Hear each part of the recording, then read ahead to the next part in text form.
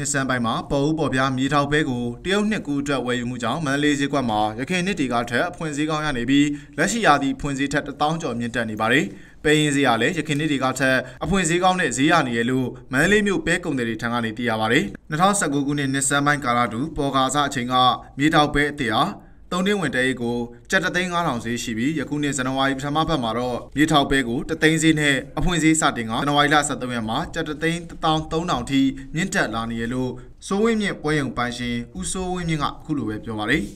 ကျွန်တော်တို့စောင်းသီးနံဟိုလေဒီစကိုင်းတိုင်းဘက်ကထွက်တဲ့စောင်းသီးနံမြေတော်ပဲရဆိုလို့ရှိရင်ကျွန်တော်တို့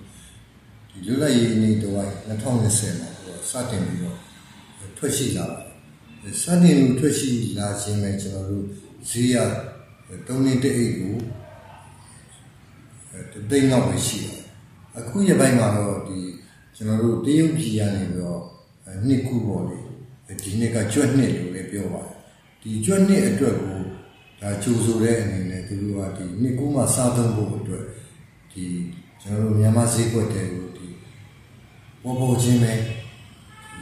ညီတော်ဝဲတွေဝင်ရောက်ဝယ်ယူမှု တွေရှိနေတယ်ရှိနေတဲ့အတွက်ဒီလုံးနေတဲ့အိတ်ကိုတသိန်းဈေးရနေပြီးတော့တောက်လျှောက်ဒီနေ့ဆိုရင်ကျွန်တော်တို့ဇန်နဝါရီ23ရက်နေ့မှာဆိုရင်ညီတော်ဝဲဟာလုံးနေတဲ့အိတ်ကိုအဲတသိန်းတစ်တောင်3000တိဈေး